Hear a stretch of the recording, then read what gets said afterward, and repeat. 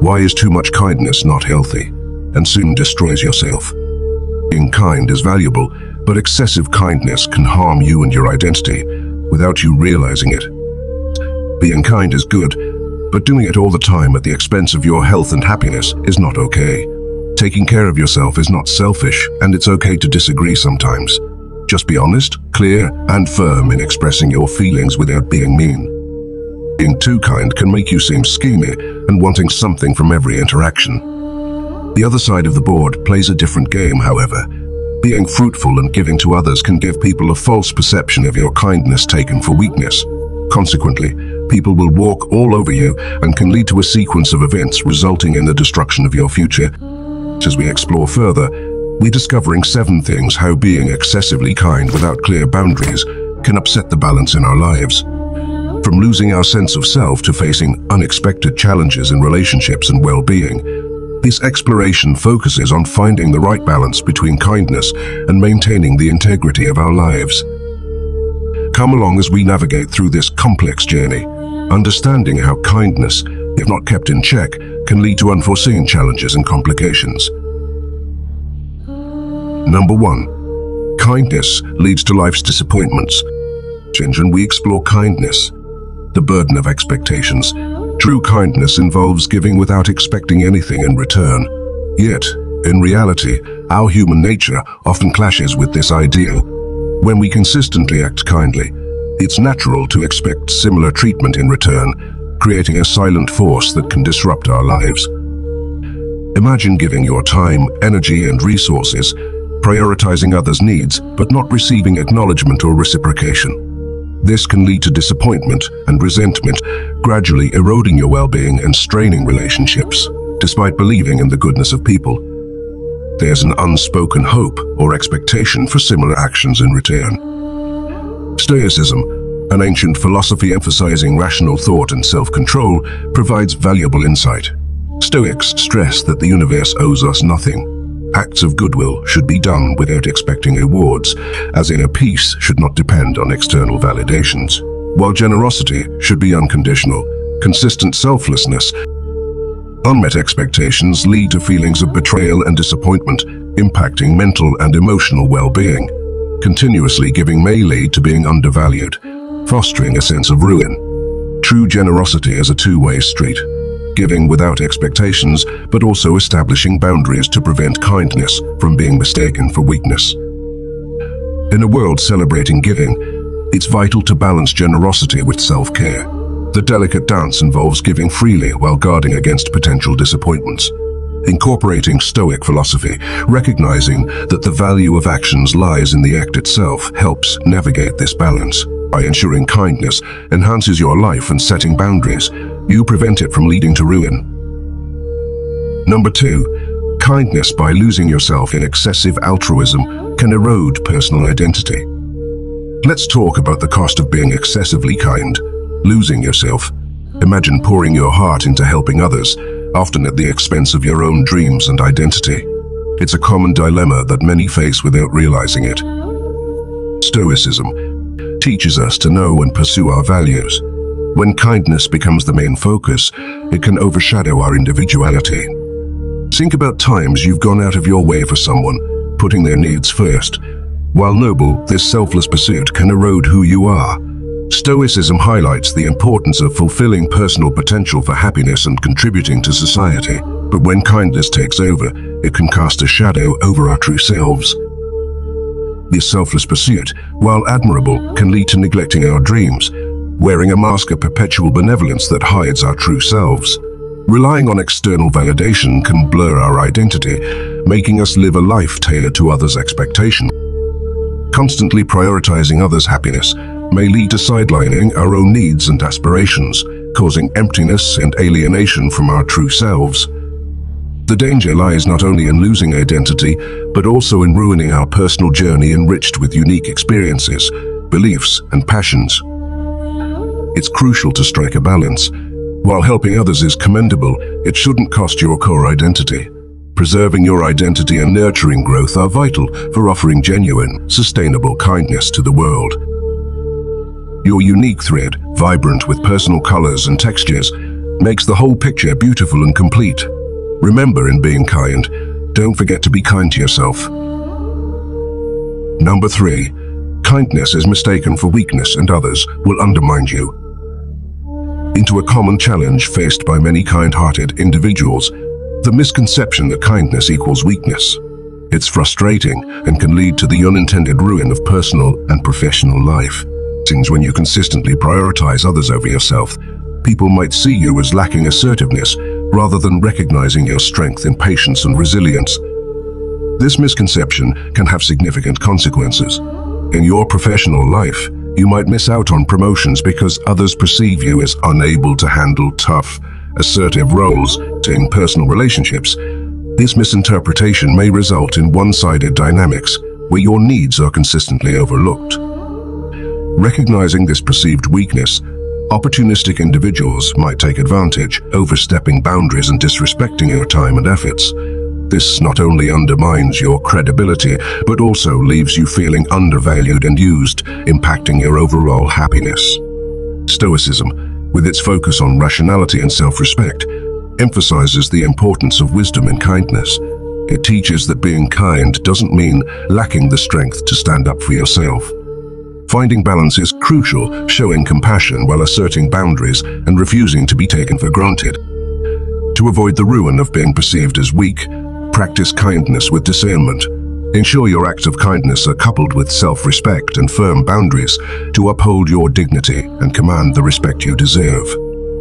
This approach not only preserves the integrity of your kindness, but also safeguards your overall well-being. Remember, true strength lies in being kind yet firm, compassionate yet assertive, and wise in your interactions with the world. In the words of the Stoics, let your kindness be a reflection of inner strength, guiding your actions with wisdom and resilience. Number four, when kindness extends beyond control. Let's dive deeper into the intricate relationship between kindness and self-control, a vital but often overlooked aspect. When kindness extends beyond our limits without self-control, it can become a draining force rather than a source of fulfillment. Imagine consistently being there for others, an admirable trait, but without self-control, leading to burnout. Our bodies and minds have limits, and pushing these boundaries risks our well-being. Symptoms like chronic fatigue, stress, headaches, and weakened immunity signal that we're stretching ourselves too thin. Relentless giving can also foster emotional drain, with simmering feelings of resentment and appreciation. Stoicism, a philosophy valuing rational thought and discipline, guides us on managing this challenge. Stoics stress the importance of self-control, maintaining a balance between helping others and preserving well-being. It's about recognizing and respecting our limits.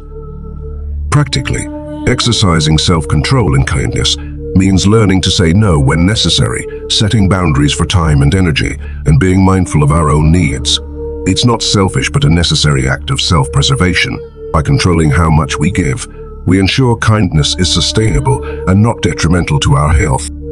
This self-control also preserves the quality of kindness. When actions are deliberate and within our capacity, they become more genuine and impactful. By not overextending, we can offer more meaningful support. Balancing kindness with self-control avoids physical and emotional exhaustion from excessive giving. It's about being kind to ourselves as much as to others, Managing resources wisely ensures kindness enriches our lives instead of leading to burnout.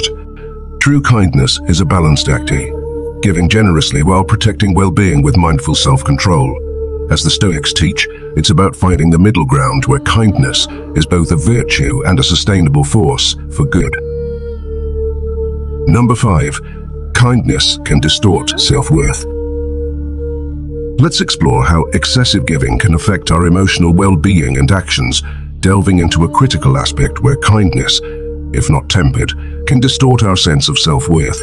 This subtle but profound impact can lead to a dilution of our own value, influencing our emotions and actions detrimentally. Consistent kindness may tempt us to measure our worth by these acts, creating a perilous loop where every kind gesture becomes a quest for validation. This reliance on external approval can be particularly damaging if expected appreciation doesn't materialize, causing feelings of rejection or inadequacy, even with pure and selfless intentions. Seeking of approval through kindness can lead to an emotional imbalance, where your value hinges solely on what you do for others, overshadowing your talents, dreams, and personal achievements. Consequently, actions may prioritize pleasing others, often neglecting your own needs and desires.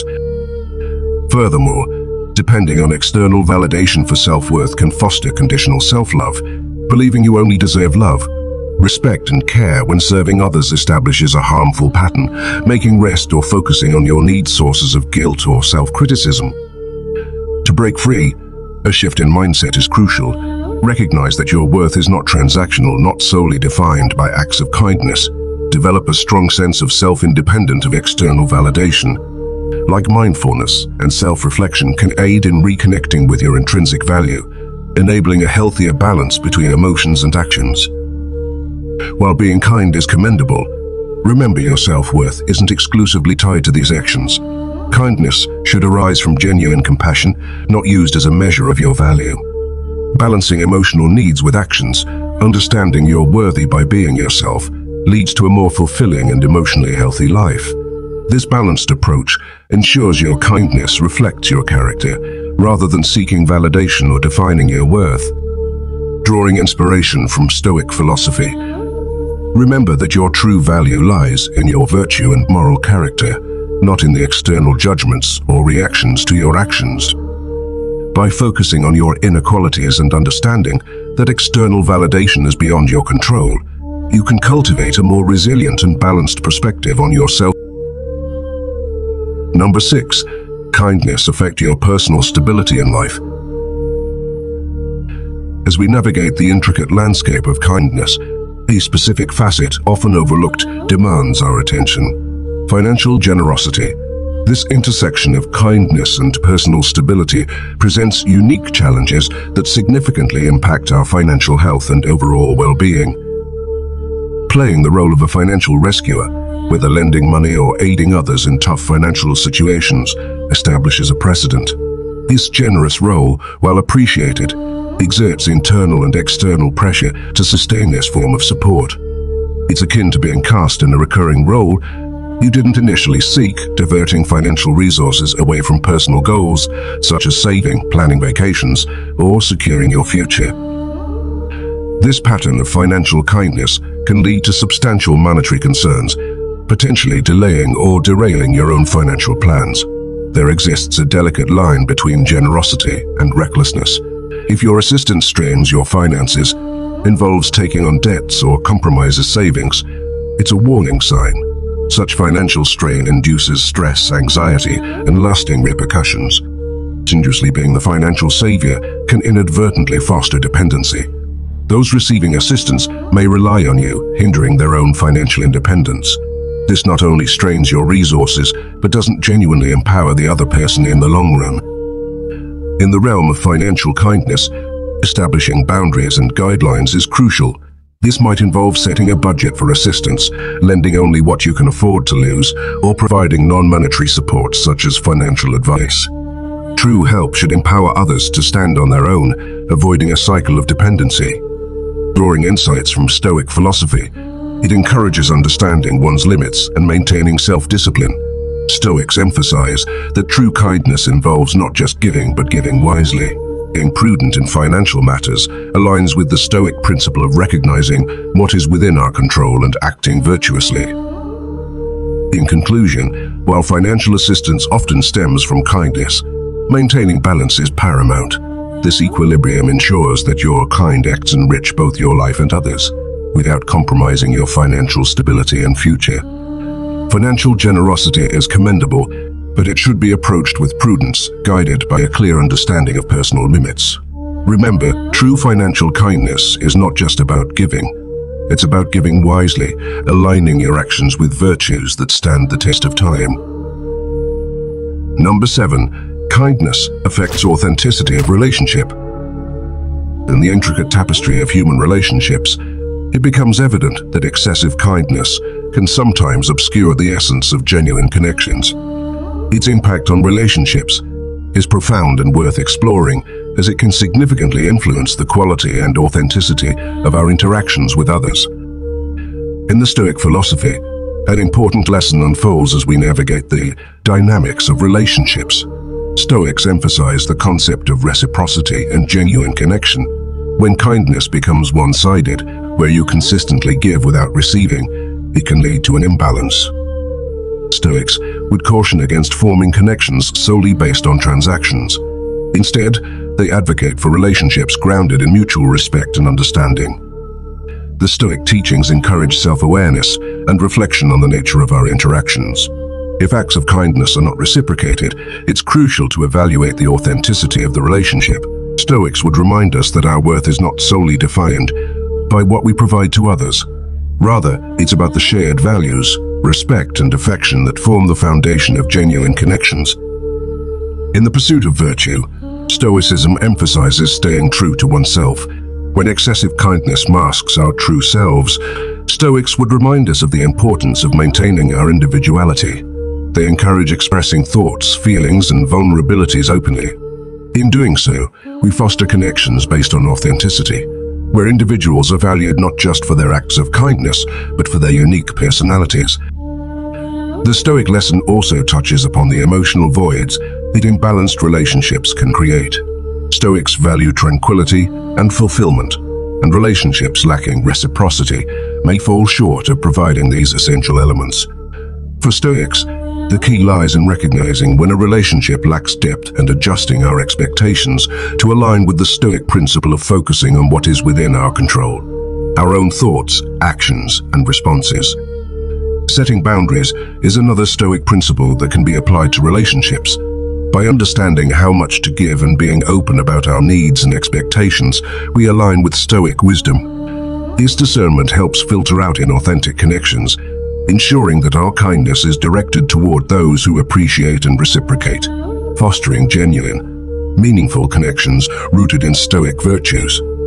My final say, nice people don't finish last. We just run a long-term strategy only the stupid people take advantage of nice people, and maybe most people are stupid. Just be in the right lane for your life. Too much kindness may destroy you,